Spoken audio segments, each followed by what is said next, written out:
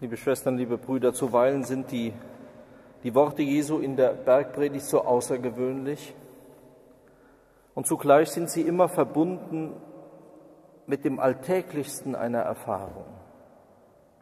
Wie oft öffnen wir den Mund am Tag, um uns ein Urteil zu bilden, um dies und jenes und oder diesen und jenen und jene einzuordnen. Richtet nicht, damit ihr nicht gerichtet werdet. Die Welt und auch die Kirche ist voll davon. Und es ist ja eine Beobachtung im Blick auf den Menschen, im Blick auf uns Menschen, auf uns gefallene Menschen,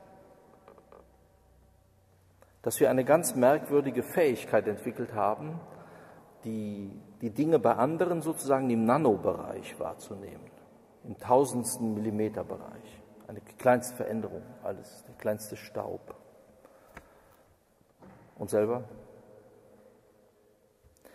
Bernhard von Clairvaux in seiner Auslegung zu dieser Stelle findet einen Grund dafür.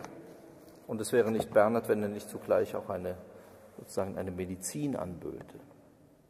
Ein großer und dicker Balken im Auge ist die Hoffart im Herzen, die durch ihre eitle, ungesunde, aufgedunsene und nicht feste Dicke das Auge des Herzens trübt und die Wahrheit verdunkelt. Hat sie einmal dein Herz eingenommen, bist du nicht mehr imstande, dich zu sehen, wahrzunehmen, wie du wirklich bist oder sein könntest, sondern du glaubst so zu sein, wie du dich gerne siehst oder hoffst es zu werden. Denn was ist der Stolz anderes als die Liebe der eigenen Vortrefflichkeit, wie ein Heiliger sie definiert. Daraus können wir umgekehrt auch sagen, die Demut sei die Verachtung der eigenen Vortrefflichkeit. Die begehrende Liebe aber kennt genauso wenig wie das Hass das Urteil der Wahrheit.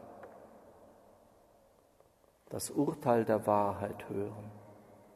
Planken heilsamen Realismus, der den Weg der Demut geht.